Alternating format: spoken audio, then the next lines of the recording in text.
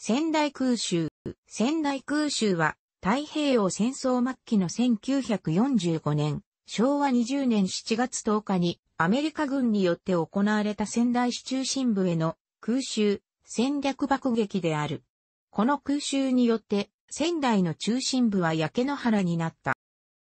太平洋戦争中の日本本土への空襲のうち、初期のものは航空母艦や中国内陸部の基地から発進した爆撃機によるものであり、航続距離の制限から爆撃できる範囲は限られ、攻撃対象も限定的で、軍需工場が主な目標とされていた。しかし1944年、昭和19年6月、アメリカ軍がマリアナ諸島を制圧したことで、北海道を除く日本本土の大部分が爆撃機 B-29 の航続距離内とな、また、無差別爆撃を主張していた陸軍少将のカーチスルメイが1945年、昭和20年1月にグアム島第21爆撃集団司令官に着任してからは、日本各地の都市に対して無差別爆撃が行われるようになった。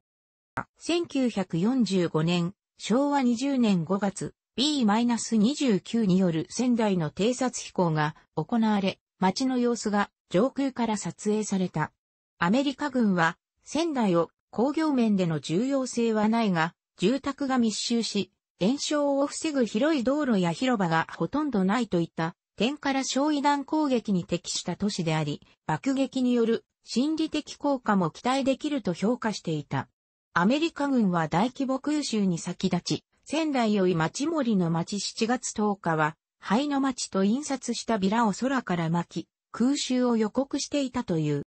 同年7月9日、アメリカ陸軍航空軍第20航空軍所属の第58爆撃飛行団に出撃命令が出され、日本時間の午後4時3分、131機の B-29 がテニアン西飛行場を出撃した。不具合で引き返した機を除く123機が仙台上空に到達した。7月10日午前0時3分、空襲警報発令は午前0時5分、高度約1万フィート、約3000メートルより、2、3機から5機くらいの編成で25波に分かれ、仙台市内を約2時間にわたって空襲した。焼夷弾1万961発による絨毯爆撃と高性能爆弾8個により、仙台市中心部は焦土と化した。アメリカ軍は焼夷弾の投下目標となる中心点を事前に撮影した空中写真上に定めていて、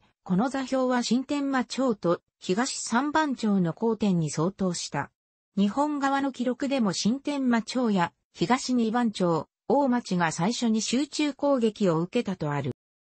7月中に仙台市役所の防衛課がまとめた調査報告によると、被災戸数は11,933戸、被災人口は57,321人、死者は987人、重症者は260人、軽症者は1423人、行方不明者は50人だった。ただし、戦時中の調査でありどこまで正確かは不明である。仙台空襲の体験談や犠牲者について戦後に仙台市民が仙台空襲1973年と仙台はフェニックス1995年という2冊の本を編纂した。仙台は、フェニックスは、仙台空襲に掲載された犠牲者名簿を精査、再検討を加えたもので、仙台は、フェニックスでは、空襲による犠牲者は1064人、犠牲となったと推測されるが、確認できないものが335人だったと記している。ただし、この犠牲者数には7月10日後に行われた重爆撃による犠牲者数名も含まれている。また、仙台市戦災復興市では、死者2755人とされる。市街地が焼け野原と化したため、仙台駅から西公園が見えるようになったとの体験談が語られている。また、市街地の他に、仙台城も被災し大手門と脇櫓が消失、二の丸にあった第二次台も被害を受けた。また伊達政宗の霊廟である、随宝殿も消失した。大手門と脇櫓、随宝殿は国宝であり、仙台市の国宝は大崎八幡宮だけが残った。一方で、新潟家にあった東京第一陸軍造兵廠仙台製造所、現在の陸上自衛隊、仙台駐屯地は空襲を受けなかった。アメリカ軍の損失は、テニア西飛行場で離陸に失敗して炎上した一機、全乗員脱出のみであった。しかし、東北軍管区司令部は、撃墜後撃破12という虚偽の戦果を発表した。アメリカ軍による地方都市空襲は人世に複数同時に行われるのが通例であり、この日は仙台と共に和歌山空襲、堺空襲、岐阜空襲、四日市空襲が行われた。アメリカ軍の資料によると、仙台空襲で投下された焼夷弾は、である。焼夷弾の相当火量は12,960個、917.6トンに及ぶ。そのうち2155個が収束焼夷弾 M-69、M-17 だった。したがって、小型焼夷弾の個数は2155-48イコール103,440個。大型焼夷弾の個数は12,960から2155イコール1,805となり、計114,245個の焼夷弾が投下されたことになる。7月10日の仙台空襲以外にも仙台市や宮城県は空襲にあっている。そのため、仙台市戦災復興記念館では7月10日の仙台空襲を特に仙台大空襲とも呼んでいる。宮城県の受けた空襲並びに爆撃機の飛来記録を以下に記す。仙台市電は市中心部の多くの路線で被害を受けたが、車庫にあった車両に被害はなく、翌11日から折り返し運転を行い、戦災復興の一翼を担った。終戦後の8月20日に全線復旧した。一方で、被災地の復興は遅れ、被災者らは1945年、昭和20年11月3日には、仙台市で戦災者大会を開き、旧日本軍払い下げ物資の被災者への優先配布や土地国家管理による住宅建設などを要求するに至った。復興事業については、宮城県が7月のうちから戦時住宅や福音の広い幹線道路を建設する計画を練っていたが、終戦を迎えたためこれは実現せず、終戦後に改めて、宮城県土木計画課が内務省の指導下、復興計画を策定していた。しかし、同年12月に市町村長が事業権限を持つのが望ましいとする内容を含む、戦災復興都市計画の基本方針を政府が閣議決定したことを受けて、1946年、昭和21年2月に、仙台の市会が全会一致で、仙台市自身が事業主体となることを決め、県や国と協力しながら復興事業を進めることになった。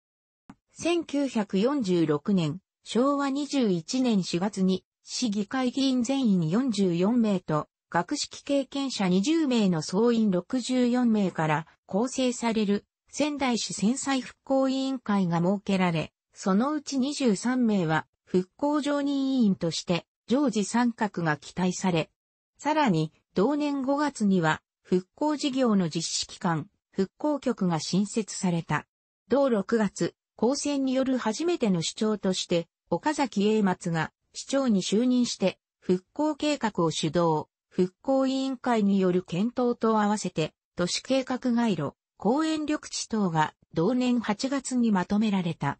この最終案は、同11月に、戦災復興委員の許可を得て決定し、青葉通りや広瀬通りなどの大通りの建設や、西公園や高等大公園などの公園整備を含めた具体的な復興事業が開始された。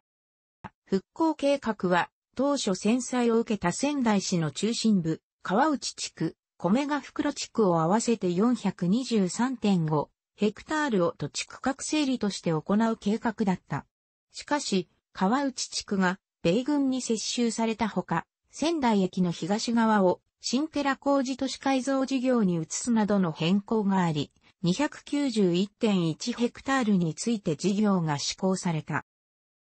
手法土地区画整理事業として行う区域内の地権者25%の土地の提供を受け、25%の現部区域内の道路、公園緑地を整備する事業だった。1961年、昭和36年3月25年を要して、ほぼ工事関係が完了した。1977年、昭和52年10月に30年を要して、完地などの生産事務の生産金などの徴収、支払いの一部を除き、すべて完了した。これによって、全国の復興事業を実施した102市の中で、屈指の成果を上げて、繊細事業は完了し外の面目が一新された。